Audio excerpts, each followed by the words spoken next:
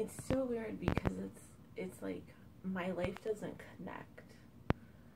I go into work and I'm I'm an instructor, I'm a professor. And I go to art stuff.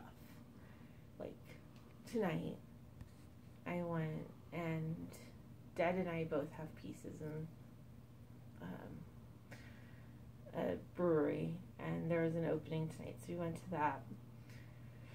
And I go and I dress really different for that, and I literally like I, I specifically like I color in my eyebrows a different color for that than I would if I were putting on makeup to go to work.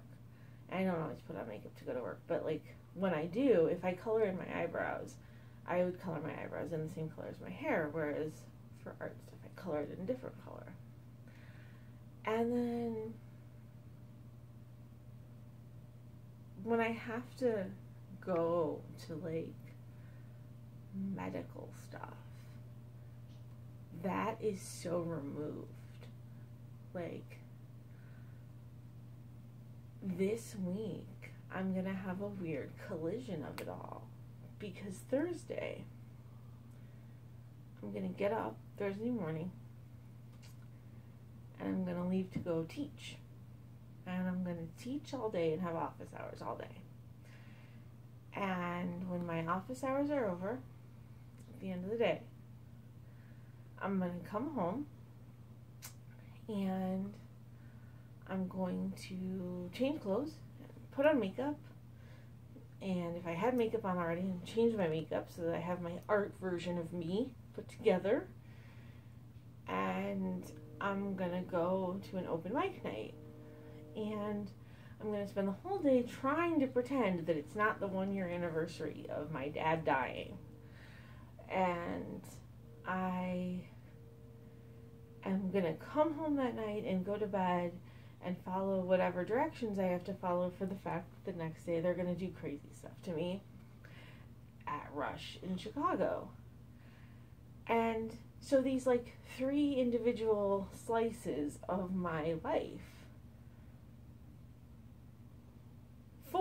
Really, because there's the whole situation where like my dad died and I'm in charge of all of these things that aren't really mine to be in charge of because um, that was never something I thought would be my life.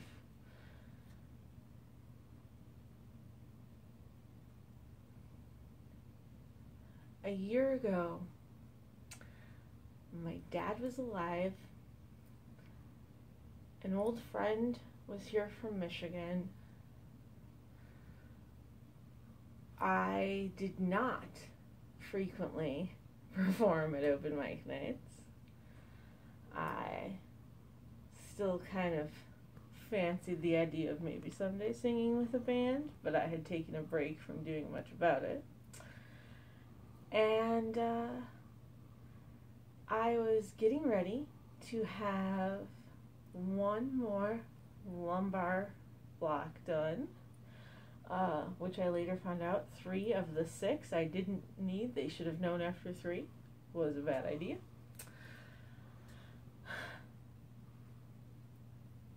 But I can't reason this combination.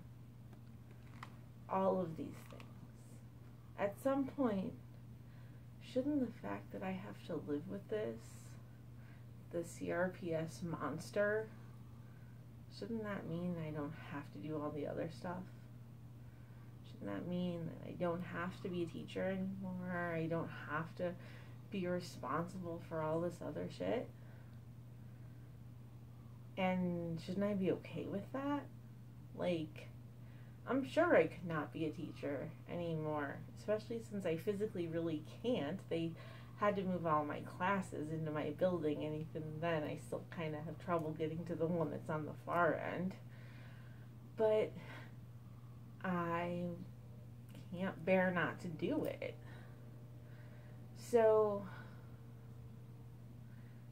that's one of those thoughts that keeps me up at night is which like which part of this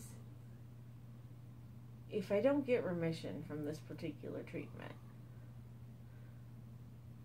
what's next after this? After six weeks of a thing down my spine. Really hope I get remission. I really hope I don't have to answer that.